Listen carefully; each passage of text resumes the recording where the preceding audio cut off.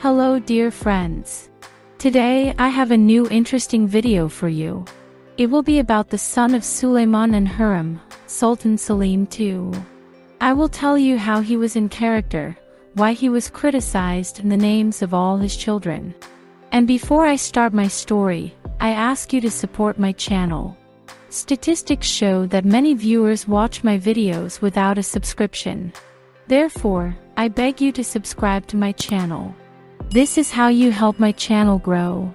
And your likes and comments motivate me to create interesting videos for you. Please give this video a like and subscribe to the channel. And I wish you a pleasant viewing.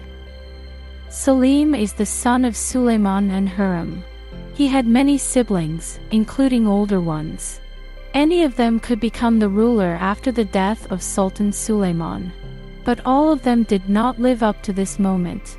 Selim remained the only heir to the Ottoman throne. After the death of his father Sultan Suleiman, Selim became the 11th Sultan of the Ottoman Empire.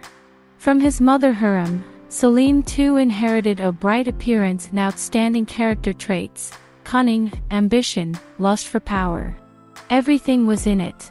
He is very used to getting whatever he wants. However, he didn't really fight for his desires. He tried to avoid difficulties. From his father, Selim took over the calmness and craving for creativity. But he did not fail. And often due to the fact that he could not come to terms with the loss, he could aggravate the situation. The lust for power often forced him to disregard any privileges he had.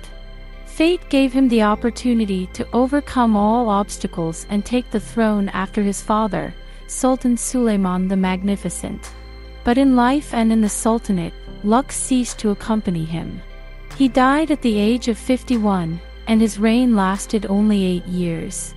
Throughout his life, he did not execute a single person, unlike his father, on whose orders Shahzada Mustafa, Shahzada Bayezid, and their sons were executed. Also, on the orders of Suleiman, the Grand Vizier and Commander Ibrahim Pasha was executed. Suleiman also executed his uncle. And Suleiman did not execute the brothers just because his father managed to do it before him. On the character of Selim was a gentle and good-natured person. He did not like warriors and conflicts and preferred calmness. Like his father, Selim was a creative person. I don't think he really wanted the throne. If he had the opportunity to lead a quiet family life, then most likely he would have chosen it. Among his warlike brothers, Selim was a white raven. He was alien to sword fighting and military campaigns. Therefore, in the series The Magnificent Century, he was shown as the most unlucky warrior who became ill at the sight of blood. The fact that he was good-natured proves his act with Mahidevran Sultan, whom Suleiman deprived of everything she had and left to exist beyond the poverty line.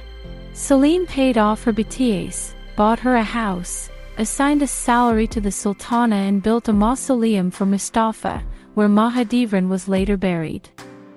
Sultan Selim II was the first sultan to be criticized in various historical writings. He deserved criticism for always staying away from the battlefield, he liked to drink and was too lustful. But most of all he was criticized for allowing his Haseki Nurbanu to lead politics and intrigue. Selim is very similar to his father in that he chose his wife and created a family with her. The relationship between him, his wife and their common daughter Esmahan is very reminiscent of the relationship between his father Suleiman, Hurrem and their daughter Mihrimah. Was Nurbanu Sultan the only woman of Sultan Selim II, or were there others? When Selim was a mature Shahzada, he created his own harem. Therefore, he certainly had other women. But Nurbanu became very influential thanks to her intelligence, cunning and resoluteness. She was able to seat her son on the throne and become Valide.